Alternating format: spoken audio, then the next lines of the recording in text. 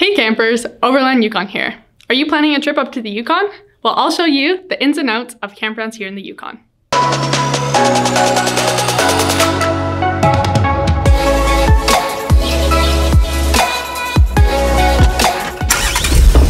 Camping in the Yukon is made easy with the Government of Yukon campgrounds and recreation sites.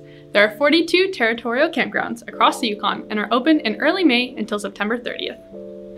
The campsites can accommodate a tent, RV, camper, trailer, vehicles, or other temporary movable accommodations and cost $12 a night. All campsites are first come first serve and you are required to register your site using the campground permits. There is not an advanced campsite registration system. You can find campground permits at the entrance of the campground or you can pick up a prepaid campground voucher to be used at any of the Yukon territorial campgrounds.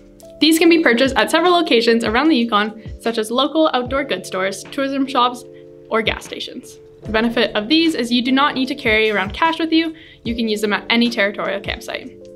When you're registering for the campsite, you will need to fill out a permit, take one of the permits from the information kiosk, fill out the information such as your campsite number, how many nights you're staying. Once you have filled it out, you can separate at the perforated line right here, place your cash inside the envelope and then into the payment box and then put the other sheet of your campsite permit on your campsite post. If you're using the permit vouchers, follow the same steps, but instead put your voucher in the payment box. Every campground is uniquely placed near lakes, creeks, rivers, mountain views, or secluded forests. Each site has a variety of amenities. You can expect to have a picnic table and a fire pit at your campsite. The campgrounds all come with wood bins where you can collect wood for your campfire, take only what you need, outhouses, water that you typically need to boil or filter, along with some additional amenities varying from wheelchair accessible campsites, bear-proof food lockers, cook shelters, playgrounds, hiking trails, beaches, docks, and more.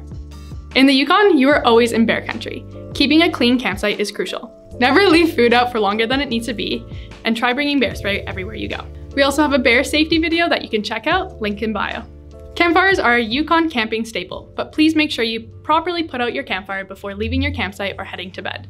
To know if your fire is properly put out, it should be cool to touch. Make sure you are following any additional rules a campground may have, and be mindful of other travelers around you. All campgrounds have quiet hours from 11 p.m. to 7 a.m. When you're exploring anywhere in the Yukon, campgrounds included, follow the leave no trace principles, which are plan ahead and be prepared, travel and camp on durable surfaces, dispose of waste properly, leave what you find behind, minimize campfire impacts, respect wildlife, and be considerate of other visitors. Here are a few campground tips. Make sure you pack bug spray.